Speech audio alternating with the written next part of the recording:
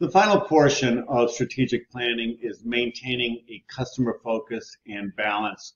One of the things that we need to make sure that we understand is, and I said this the other night, it's a lot easier to retain customers than go out and get a new one. So we need to make sure that our plan includes maintaining our current customers as well as driving new customer business.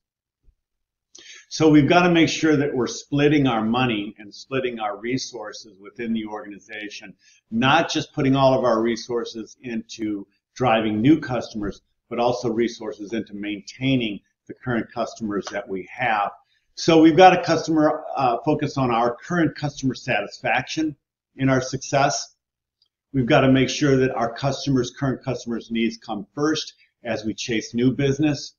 And then we also need to make sure that we're maintaining long-term value-added relationships with our current customers in order to ensure that our customers are not dropping off.